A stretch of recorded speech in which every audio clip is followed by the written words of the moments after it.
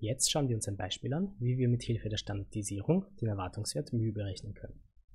Also, wir haben eine normal verteilte Zufallsvariable x mit der Standardabweichung Sigma ist gleich 2 und wir wissen, die Wahrscheinlichkeit von x kleiner gleich 8 ist gleich 0,62. Jetzt suchen wir den Erwartungswert. Versuche das Beispiel zunächst alleine zu lösen.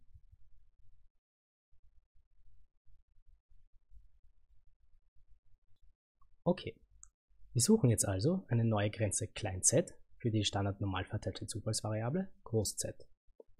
Die Wahrscheinlichkeit p von groß z kleiner gleich z soll 0,62 sein.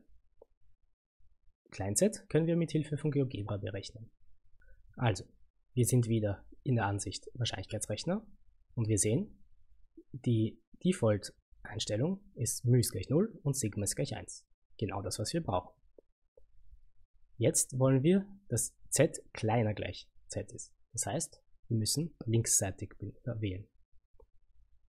Und für die Wahrscheinlichkeit setzen wir 0,62 ein. Dafür erhalten wir ein z von 0,3055. Wir können also für z 0,3055 aufschreiben. Wir wissen jetzt, dass die obere Grenze x ist gleich 8 für die normal verteilte Zufallsvariable groß x der oberen Grenze z ist gleich 0,3055 der Standard normal verteilten Zufallsvariable groß z entspricht. Mit Hilfe der Substitution z ist gleich x minus μ durch Sigma können wir uns jetzt μ ausrechnen. Durch Umformen erhalten wir μ ist gleich x minus z mal Sigma und das ist gleich 7,389. Das Ergebnis kannst du mit GeoGebra überprüfen.